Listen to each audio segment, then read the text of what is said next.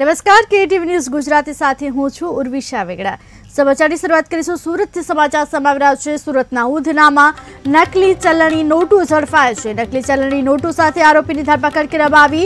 સોના દરની બનાવટી બસો ઓગણસાઠ નોટો મળી આવી.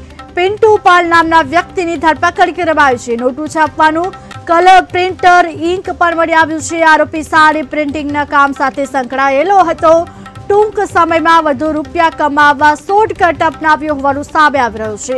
આરોપી સાડી પ્રિન્ટિંગના કામ સાથે સંકળાયેલો છે. તેને નોટો છાપવાનું કલર પ્રિન્ટર ઇંક પણ મળી આવ્યું છે. સોના દરની બનાવટી બસો ઓગણસાઠ નોટો મળી આવી છે. ત્યારે સુરતમાં જો કે હાલ ઉંધનામાં નકલી ચલણી નોટો ઝડપાય છે. નકલી ચલણી નોટો સાથે આરોપીની ધરપકડ કરવામાં આવી છે. સોના દરની નોટો મળી આવી છે. પિન્ટુ પર નામના વ્યક્તિની ધરપકડ કરાય છે. રોજ સુરત શહેરના ઉધના પોલીસ સ્ટેશન ખાતે હ્યુમન ઇન્ટેલિજન્સથી એક સુંદર કામગીરી કરવામાં આવી છે.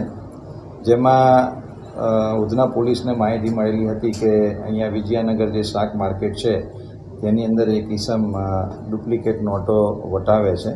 તો ઉધના ડિસ્ટાફે આ ઉપર વોચ રાખેલી હતી અને એની તપાસ કરતાં એક આરોપી પિન્ટુ શિવનંદન પાલ, જે એકતાળીસ વર્ષનો છે અને ઉનપાટિયા સુરત ખાતે રહે છે અને મૂળ એ ફતેહપુર જિલ્લાના ઉત્તર પ્રદેશનો રહેવાસી છે, જે અહીંયા સાડીઓના પ્રિન્ટિંગમાં કામ કરતો હતો.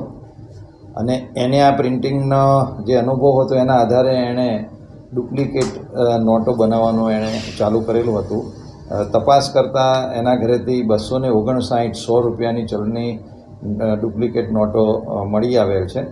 અને પ્રાથમિક પૂછપરછમાં એવું જાણવા મળેલ છે કે તેને આ કામગીરી ઉત્તર પ્રદેશનો એક આરોપી છે સલમાન અહેમદ, જે હાલમાં ઉત્તર પ્રદેશ છે. એની પાસેથી આ ડુપ્લિકેટ નોટો કેવી રીતે બનાવી એ શીખેલો હતો.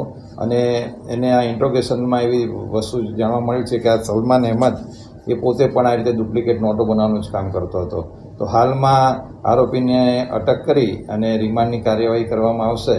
પ્રાથમિક પૂછપરછમાં એવું જાણવામાં આવેલ, મળેલ છે કે આ સો રૂપિયાની ડુપ્લિકેટ નોટો એ શાક માર્કેટ અને નાની છૂટક વસ્તુઓ પરચેસ કરતી વખતે દિવસના પંદરસોથી બે હજાર રૂપિયાની નોટો એ વટાવતો હતો અને ધીરે ધીરે માર્કેટની અંદર આ રીતે સ્પ્રેડ કરી દેતો હતો. અને હજી એની ઇન્ટ્રોગેશન ચાલુ છે. ફર્ધર રિમાન્ડ મેળવવામાં આવશે. અને એણે આગળ અગાઉ આવું કેટલી નોટો બનાવી છે એ તપાસ.